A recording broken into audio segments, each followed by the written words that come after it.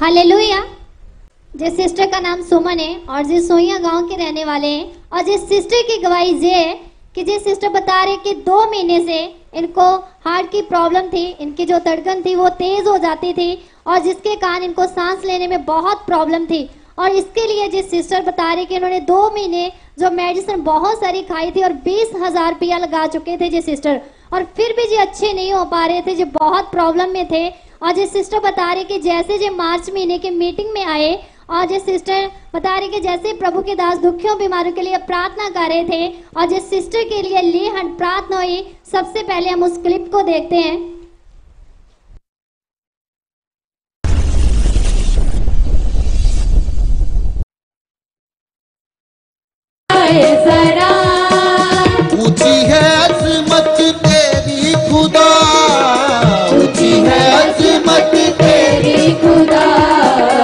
ऊँची है अजमत तेरी खुदा।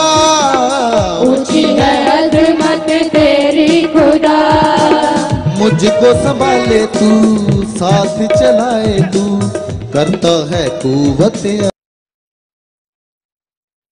सिस्टर बता रहे कि जैसे जो दो महीने से मेडिसिन खा रहे थे तो डॉक्टर ने बताया था कि ये जो मेडिसिन है आपको लगातार खानी है। पर जैसे ही सिस्टर बताते कि इनके इनके जैसे मीटिंग में आए जैसे प्रभु के दास के द्वारा इनके लिए ले एंड प्रार्थना हुई। तो अभी तीन महीने हो चुके हैं कि जब बताते कि तीन महीने तक मैंने कोई भी मेडिसिन नहीं खाई आज परमेश्वर ने मुझे उस प्रॉब्लम से बिल्कुल टोटली फ्री कर दिया है। हम सब तारीफ़ करेंगे कलिसिया। और ये प्रॉब्लम आपको कब से थी? हाँ? दो महीने पहला दो महीने पहले थी। हाँ और दो महीने से आप लगातार मेडिसिन खा रहे थे। हाँ जी। हाँ? और खाने से भी?